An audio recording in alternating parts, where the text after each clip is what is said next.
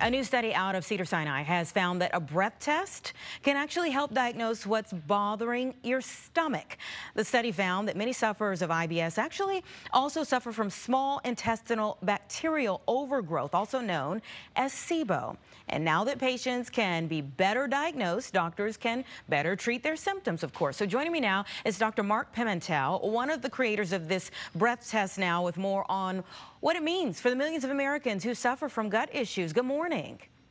Good morning. It's nice to be with you. Thank you for well, uh, being here with ahead. us. Uh, the study revealed a third type of SIBO. So what does this mean for folks? Well, SIBO is the that the small intestine, which is the longest length or part of your intestine where food is absorbed, uh, that 15 feet, it builds up too much bacteria. But what we didn't know is that there are three different types. There's a type with hydrogen gas, which we can measure on our breath methane, which goes with constipation, and the newest gas is hydrogen sulfide. So when hydrogen sulfide is elevated, you get diarrhea. So now we know the three what we call microtypes or subtypes of bacterial overgrowth, and we can attack each differently. But these patients suffer from abdominal pain, they suffer from bloating, and it affects 10% of the US population, which is an incredible number. And this isn't just as easy as like, okay, we'll drink some kombucha or uh, eat more yogurt. What treatment options are available for all three types of SIBO? Yeah, so in, in, in essence, you have too many bacteria. So putting more like kombucha or, or, or, probiotics from yogurt may actually be the wrong thing to do for these patients, even though it's healthy for most of the rest of us.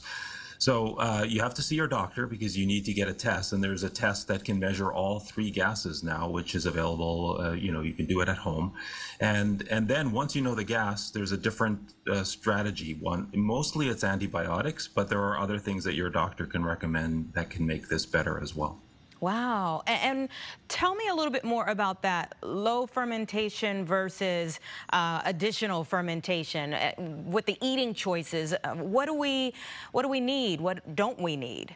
Especially for SIBO so, sufferers.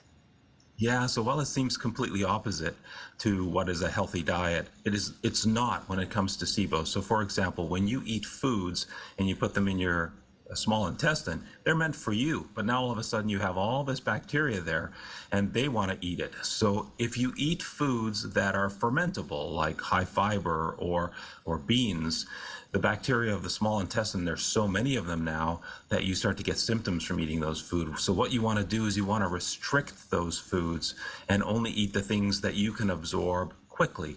So we call that low fermentation eating. You're eating foods that don't sit long enough to ferment by these bacteria while you're trying to figure out and treat it and also to prevent recurrence of the, the bacteria that we were talking about earlier. What are some things that would let me know I am a SIBO sufferer versus something else? Yeah, so the most important symptom of, of, patients is that they have a lot of bloating, gas, and distension, especially after eating. And so they have to loosen their belt or they feel like their, uh, their stomach sticks out. Obviously, seeing a doctor is important because there could be other reasons for that, but that's the most common symptom. And then, of course, changes in your bowel pattern where you, where you could be either constipated or diarrhea or both, depending upon which gas you have, which we can now sort out. All right. Thank you so much, Dr. Pimentel. That was a very uh, intriguing discussion. Appreciate it. Oh, thank you.